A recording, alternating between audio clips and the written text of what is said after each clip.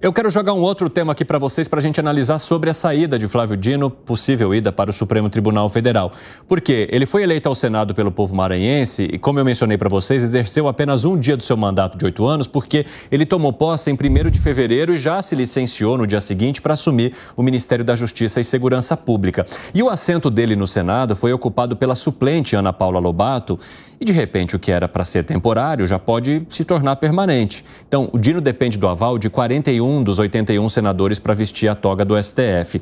E se isso se confirmar, a suplente será automaticamente convertida numa senadora postiça, sem ter recebido um único voto, e aí permaneceria no Senado até 2030.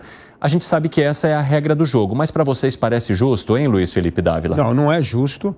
É, eu, eu sou totalmente contra suplente de senador. Por quê? Porque se o senador renuncia ou ocupa um ministério, é obrigado a convocar uma outra eleição, ou nós temos hoje na regra eleitoral que o segundo mais votado seria o senador a ocupar o espaço. É, é, é assim que existe, por exemplo, nos Estados Unidos é assim a regra, uhum. e acho é uma regra justa. Nós temos de ter no Congresso Nacional apenas pessoas que são eleitas pelo voto popular. Porque seriam pessoas que tiveram volume de voto, mas que ficaram justamente por pois é. conta é. dos resultados daqueles que passaram à sua frente. Justamente. Então, a regra é outra. Ou convoca outra eleição, mas isso dá muito trabalho e, e tal. poderia custar caro também, né? Poderia custar caro. Então, a regra é que o segundo mais votado torna-se o suplente do senador eleito e ocupa o espaço. Essa é a regra correta de respeito ao voto popular, de respeito à vontade do eleitor e não ficar camuflando suplente em chapa e aí colocar uma pessoa que nunca teve um voto, que você nem sabe o nome da pessoa, para ficar aí governando o país durante sete anos. Eu até quero perguntar para a nossa audiência se em algum momento vocês pararam para pensar nessa questão de suplentes, das pessoas que substituem, porque muita gente não deve nem sequer conhecer. Depois, Gani, você que costuma olhar bastante aí os comentários pelo YouTube, se alguém se manifestar em torno desse, desse assunto, você conta aí para gente, né? Se as pessoas de casa no caso, concordam ou não com a entrada desse suplente, o que elas acham justamente de uma pessoa ocupar o lugar que não recebeu nenhum voto e que muitas vezes nem são conhecidas do público em geral ou principalmente do eleitor que colocou aquele senador ali naquela cadeira. Fábio Piperno, o que, que você acha? Ah, eu acho que, em relação a isso, a regra é clara, assume o suplente. Eu já falei que eu não gosto muito de mudança de regras, inclusive. O Senado perdeu três dos seus integrantes na época da Covid, aqui em São Paulo mesmo, né, o Major Olímpio, lamentavelmente acabou sendo uma dessas vítimas, o Zé Maranhão, lá na Paraíba, enfim. A verdade é que eu acho que eu, eu, eu sou contra esse tipo de mudança. Gani? Bom, a favor de suplência? Eu sou. Pelo amor de Deus. Eu Surpreendentemente, votar do lado do Dávila. Ah, nossa, isso é. Oh, surpresa, né? me, me, conta uma nova. É. Não é uma coisa óbvia, quer dizer. É óbvio. Surpreendentemente, eu tô do Mas, Piperno, o, que eu, o, que eu questiono, o que eu questiono é se você concorda com o fato de uma pessoa que não recebeu voto, que muitas vezes nem é conhecida pela população, assumir Ele aquele fez lugar. parte da chapa. Você tem um vice-governador, um vice-prefeito, um vice-presidente. Um vice, um vice tá, olha, olha que loucura. Vamos, vamos imaginar um eleitor que votou no Flávio Dino para ser senador. Ele quis que o Flávio Dino fosse senador, Sim. representasse o estado do Maranhão. Esse eleitor, ele não tem agora essa representação, porque o Flávio Dino está no Supremo Tribunal Federal. Então eu já não tive essa representação.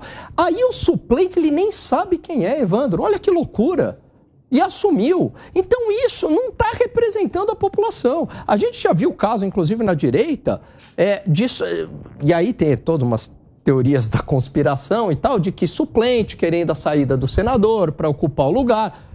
Não dá para descartar essa uhum. hipótese uhum. também, né? conspirando contra o senador. Enfim, eu não vejo isso o... como uh, algo produtivo. Por o. E outra coisa, as regras, eu, eu sou um conservador, assim como você, que gosta de manter regras, tradições, mas, mas nesse caso está sendo conservador. É. Agora, em alguns, ser um conservador não significa que não se pode uh, melhorar o sistema, né? aprimorar o sistema. Por Isso acaso, é uma mudança pontual. Por acaso, em algum momento, o Flávio Dino ele escondeu a, vice, eh, eh, a, a suplente Quer dizer, o eleitor sabia. Outra coisa, há chapas em que, inclusive, o suplente é alguém que acrescenta é, popularidade, prestígio, dinheiro, ajuda a é, pagar. E, e outra coisa, eu, até questiono, eu também me questiono, né? Essa mudança, essa dança das cadeiras me incomoda também. É senador que vai para para ministro do Supremo e depois é, sai para votar, volta para o cargo de senador.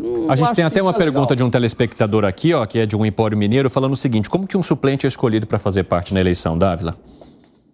Como se diz, na, você não quer saber como que se fazem salsichas. Você não quer saber como é que é escolhido suplente. Suplente é esse jogo. Financiador da campanha, trazer uma outra pessoa que ajuda de alguma forma ou contribui com a campanha. Nunca é uma escolha republicana. Nós vamos escolher uma pessoa super capaz.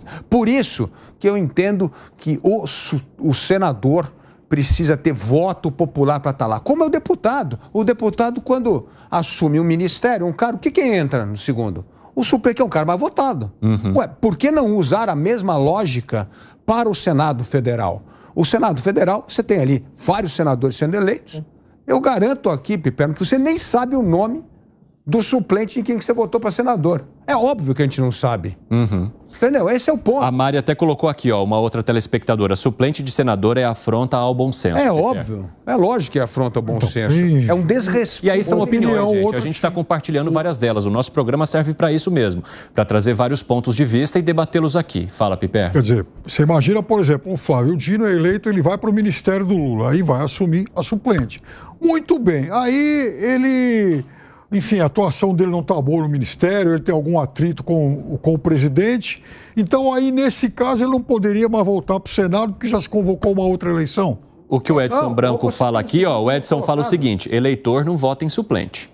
Exatamente, é, é óbvio. Claro. Então você vota. E lá, a rank tá, o primeiro senador elegeu esse. O segundo é esse aqui. Flávio Dino foi para o Supremo, o segundo mais eleito no Estado ocupa o cargo. É esse que é o suplente endossado pelas urnas. Não é um suplente que eu escolho porque é meu amigo, porque financiou a campanha. Até porque você pode ter algum tipo de conluio com chave. Ah, eu sei que eu vou ganhar e se eu ganhar já está combinado Sim, ali com o presidente. Ah, eu vou ocupar determinado ministério. Você entra. É, seria uma pessoa que jamais ganharia uma eleição. Jamais. Mas aí vai no tapetão.